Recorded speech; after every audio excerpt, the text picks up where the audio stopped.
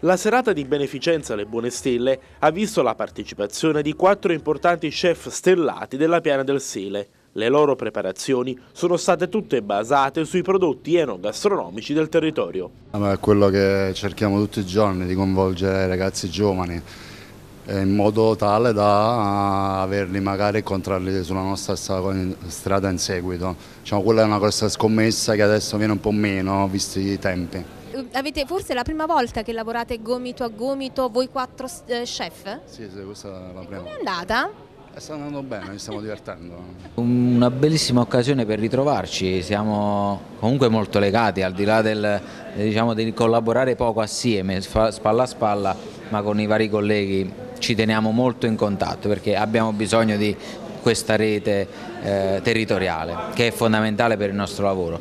Esperienza bella, torno dopo un po' di anni in un alberghiero, non il mio perché ho studiato altrove ma è sempre piacevole vedere i ragazzi dire, e catapultarli per una sera nel loro ambiente eh, trasformato. Questo è stato un lato positivo, è quello di, diciamo, di collaborare con i ragazzi, e, diciamo, mi, mi, mi, ricivedo in, in, certo. in questa... Hai fatto l'alberghiero anche tu? Sì, no? ah. sì, a Contursi perché diciamo, lo, la, la struttura Battipaglia ancora non era operativa. E come i ragazzi come si sono comportati?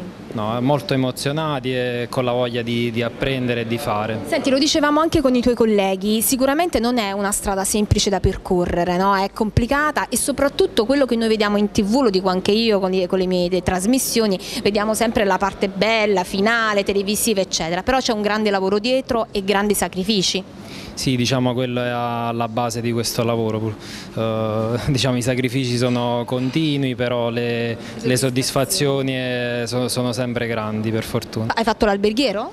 Purtroppo no, ho fatto anche il liceo scientifico, però eh, erano, insomma, analizzavamo proprio questo, dell'importanza che anche questi istituti incominciano ad aprirsi una, anche una didattica interdisciplinare, perché il sistema interdisciplinare, analizzavamo proprio questo, aiuta tanto, cioè apre proprio la mente del ragazzo e quindi in un'epoca in cui veramente la, la, la cucina um, si è sdoganata no? in nuove forme, in nuove texture, avere un pensiero libero e, e, e alcune volte ci ha aiutato anche. Questo non vuol dire che debba scomparire assolutamente l'alberghiero, siamo qui per dire il contrario e per dire che probabilmente ecco, tutto questo discorso interdisciplinare, quindi un innamoramento che parte anche nella parte umanistica della, della, della, della docenza è importante.